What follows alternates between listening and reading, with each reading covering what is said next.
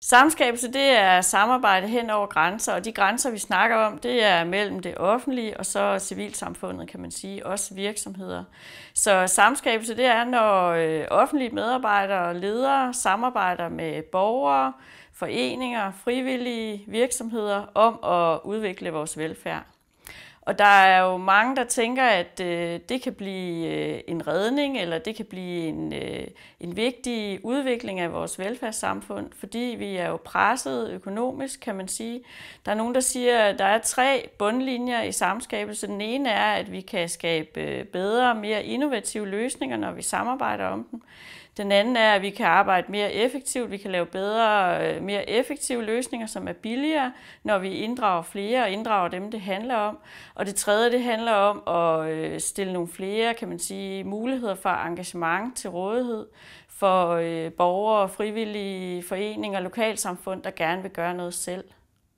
Der ligger de muligheder, at vi kan få bedre løsninger på vores velfærdsudfordringer, at vi kan få flere til at deltage i og løse de udfordringer, der er samfundsmæssigt.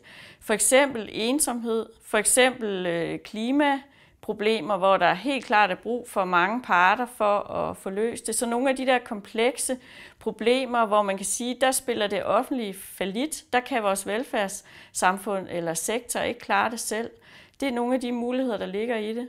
Så ligger der nogle udfordringer, som er, at vi har jo skabt en stor og meget professionaliseret velfærdssektor.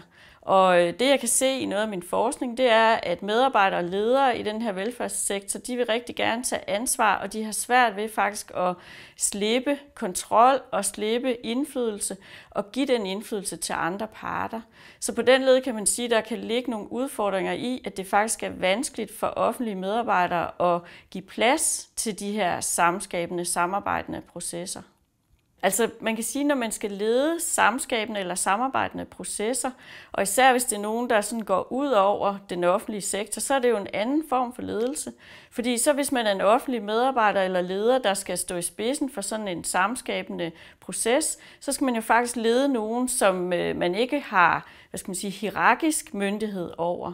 Så det kommer rigtig meget til at handle om tre ting – Øh, man skal kunne facilitere et godt samarbejde.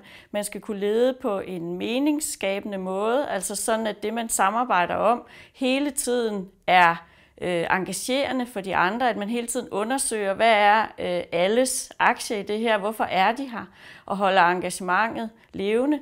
Og så skal man kunne koble, man skal simpelthen kunne koble interesser, øh, aktører, forståelser af, hvad der er udfordringen, sådan at man holder, kan man sige, samarbejdet levende med den ledelse, man øh, udøver.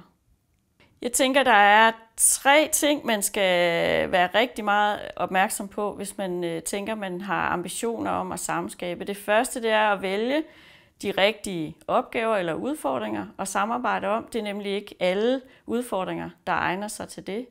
Øh, hvis vi så siger, at den, som har ambitionen, er en offentlig medarbejder eller en offentlig institution, så skal man også kigge rigtig meget på, er vi klar til det? Altså er vi klar til at give slip?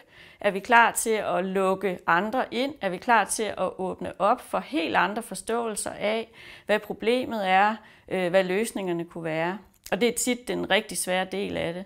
Øh, og det tredje det er så, at man skal kunne det her med at lede øh, samarbejdsprocesser.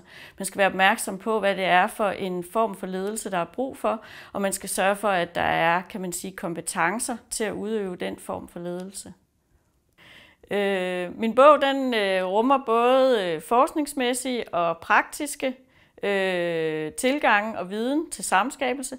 Så hvis man står og skal arbejde med det her, så kan den give et øh, rigtig godt indblik i, hvad det egentlig er, man har gang i, som kan give en bedre forståelse for, hvordan man lykkes godt.